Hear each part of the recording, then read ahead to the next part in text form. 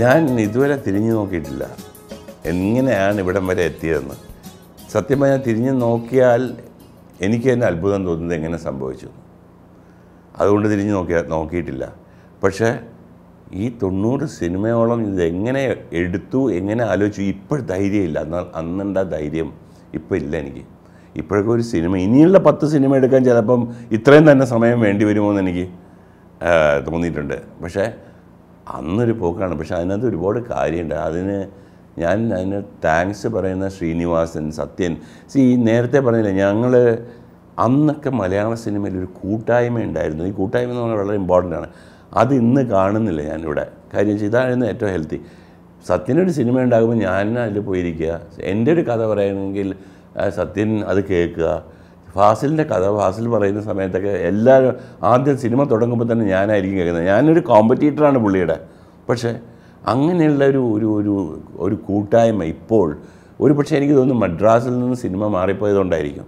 പലരും തമ്മിൽ അങ്ങോട്ടും ഇങ്ങോട്ടും കാണുന്നില്ല. ചില ഫങ്ഷനുകളിൽ മാത്രമേ കാണുന്നുള്ളൂ.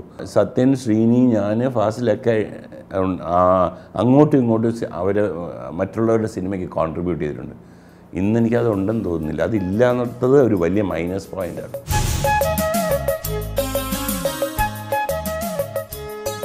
ഈ സുഹൃത്തുക്കളാണ് നമ്മുടെ ഏറ്റവും വലിയ അസറ്റ് കാര്യം നമ്മ പരസ്പരം മനസ്സിലാക്കാനും പരസ്പരം സഹായിക്കാനും യാതൊരു വെസ്റ്റഡ് ഇൻട്രസ്റ്റ് ഇല്ലാതെ നമ്മുടെ കൂടെ നിൽക്കാനും യാതൊരു സ്വാർത്ഥ താല്പര്യങ്ങളില്ലാതെ സുഹൃത്തുക്കൾ ഇല്ലാത്ത സുഹൃത്തുക്കൾ ഉണ്ടാവുന്നതിലാണ് ഏറ്റവും വലിയ ഭാഗ്യവാന്മാർ എനിക്ക് തോന്നുന്നു ആ ഒരു ഭാഗ്യം എനിക്ക് കിട്ടിയിട്ടുണ്ട് പഴയ ഇന്നത്തെ കാലത്ത് എനിക്ക് പറഞ്ഞില്ല ഈ കൂട്ടുകെട്ട് അതായത് ഇപ്പോൾ എല്ലാവരും പറയും മോഹൻലാൽ പ്രിയദർശൻ മണിയമ്പിളരാജ് രാജ എം ജി ശ്രീകുമാർ ഈ കൂട്ടുകെട്ടെന്ന് പറയും. ഈ കൂട്ടുകെട്ടിനെ പറ്റി ഒരുപാട് സംസാരിക്കും. ഇപ്പം ഞങ്ങൾ ഈ കൂട്ടുകെട്ടിനെ കുറിച്ച് സംസാരിക്കാറില്ല. കാര്യം അത് സംസാരിച്ച് കഴിഞ്ഞാൽ നമുക്ക് തന്നെ ദേഷ്യം തുടങ്ങി.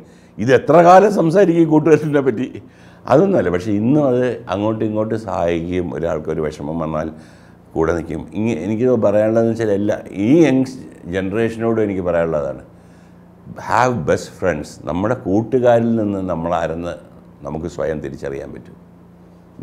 അതായത് എല്ലാം സ്വന്തമായിട്ട് അനുഭവിക്കാൻ പറ്റില്ല. മറ്റുള്ളവരുടെ അനുഭവങ്ങളും കൂടെ കേട്ടും വായിച്ചും ഒക്കെ അറിഞ്ഞും വേണം നമ്മുടെ അനുഭവങ്ങളെ ബെറ്ററാക്കാൻ for that the best thing is our friends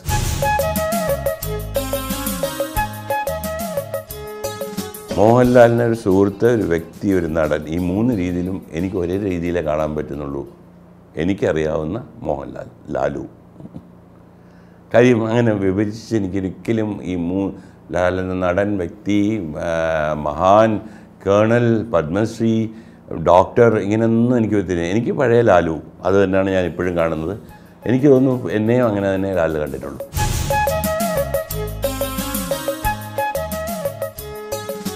ഏറ്റവും വിഷമമുള്ള കാര്യമാണ് ഒരു ആളുകളെ ചിരിപ്പിക്കുക എന്നുള്ളത്. പക്ഷേ കോമഡി സിനിമ എടുക്കുന്ന ഡയറക്ടറെ ഒരിക്കലും നല്ല ഡയറക്ടറായിട്ട് ആരും കൺസിഡർ ചെയ്യാറില്ല. ആ സങ്കടം വരുമ്പോഴാണ് നമ്മൾ മറ്റുള്ള സിനിമ സിനിമയിലോട്ട് തിരിയാൻ നിർബന്ധിതമാണ് കരയിപ്പിക്കാനും പേടിപ്പിക്കാനും ഒക്കെ വളരെ എളുപ്പമാണ് ഒന്ന് ചിരിപ്പിക്കാൻ നല്ല വിഷമമാണ് ഈ സീക്വൻസുകൾ ഇപ്പം ടാസ്കി വിളിയട ടാസ്കി വിളിയട എന്ന് പറയുന്നത് എനിക്കറിയാം. അമ്പലപ്പുഴയിലൊരു കച്ചി ഗോപാലുള്ള ഒരാളുണ്ടായിരുന്നു. അദ്ദേഹത്തിന് പിള്ളേർ വിളിച്ച് കച്ചി എന്ന് വിളിച്ച് അദ്ദേഹത്തിന് ദേഷ്യം വരുന്നതുകൊണ്ട് എല്ലാവരും ഹേ ഗോപാലുള്ള എന്ന് വിളിക്കും. അപ്പോൾ പ്രശ്നമില്ല. കച്ചി പുള്ളി പിന്നെയാണ് അറിഞ്ഞത് ഹേ എന്ന് പറയുന്നത് ഇംഗ്ലീഷ് വാക്കാണെന്ന് കച്ചിയുടെ. അതുപോലെ ഇങ്ങനെയുള്ള എനിക്ക് ഏറ്റവും കൂടുതൽ ക്യാരക്ടേഴ്സ് എന്റെ ക്യാരക്ടേഴ്സ് കിട്ടിയിരിക്കുന്നത് ഈ അമ്പലപ്പുഴ എന്ന് പറഞ്ഞാൽ എന്റെ നാട്ടിൽ നിന്നാണ്. കുറേ അധികം ക്യാരക്ടേഴ്സ് ഉണ്ട് അവിടുന്ന്. അത് ഞാൻ പല സിനിമകളിലും അവിടെ നിന്നുള്ള ചില ക്യാരക്ടേഴ്സിനെ യൂസ് ചെയ്തിട്ടുണ്ട്. കാര്യം പിന്നീടുള്ള വെച്ചാൽ കോളേജ് തമാശകൾ. കോളേജിൽ കുട്ടികൾ കൂട്ടി ഞാൻ പറഞ്ഞില്ലേ കൂട്ടുകാരിൽ നിന്നാണ് പല തമാശകളും കിട്ടിയില്ല പക്ഷേ അതൊക്കെ എന്റെ മനസ്സിൽ കിടന്നുകൊണ്ട് ഒരു സാധനം എഴുതി വരുന്ന സമയത്ത് അത് കറക്റ്റായിട്ട് അവിടെ വന്ന് പ്ലേസ് ആവും. അത് സത്യം പറഞ്ഞാൽ എനിക്ക് തോന്നുന്നു അത് അത് മാത്രമാണ് ഈശ്വരൻ എനിക്ക് തന്ന ഒരു സിദ്ധി. ബാക്കിയൊന്നുമില്ല. തന്റെ ആ സഹിക്കുന്നതിന്റെ ഒരു അതിലുണ്ട് അവളുടെ നാക്ക് വിജയം ദൂരക്കളെ കേട്ടോ. അവൾ ആരാടോ സീരിയ അവളുടെ അമ്മയുടെ നായര്. കോണ്ടസ കേട്ടോ. കോണ്ടസ ഓർമ്മയുണ്ടല്ലോ? കോണ്ടസ താൻ നോക്കിക്കോ. ഓ. അല്ല ഇയാളെന്തിനാ ഇടയ്ക്കിടയ്ക്ക് കോണ്ടസ കോണ്ടസ എന്ന് പറയണു നമ്മൾ ഈ നാരായണ നാരായണ എന്ന് പറഞ്ഞ നാമം ചെല്ലാറില്ലേ.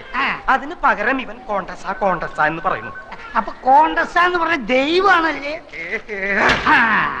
അല്ലേ ചോദിച്ചോട്ടെ ഈ പുരാണത്തിൽ ഈ കഥാപാത്രം ആരുടെ മകനായിട്ട് വരും?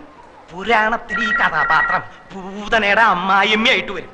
പൂച്ചയ്ക്ക് എന്തോടോ പൊന്നുരുക്കുന്നിടത്ത് കാര്യം. അതിൽ ഇവിടെ എവിടെയാ പൂച്ച? പൂച്ചനെ നിനക്ക് കാണണ? വെറുതെ അല്ല നിന്റെ കണക്കൊക്കെ തെറ്റണേ എന്റെ കണക്ക് കൂട്ടിൽ ഇതുവരെ തെറ്റിയിട്ടില്ല. അതെന്താണോ താനൊരു അർത്ഥം വെച്ച് സംസാരിക്കണേ? ദേ എന്റെ നഖം തൊട്ട് മുടി വരെ തീ പിടിച്ചിരിക്കുക ഒറ്റയ്ക്ക് ഞാൻ കത്തില്ലാട്ടോ. നിന്റെ ഒരു കണക്ക് കൂട്ടൽ.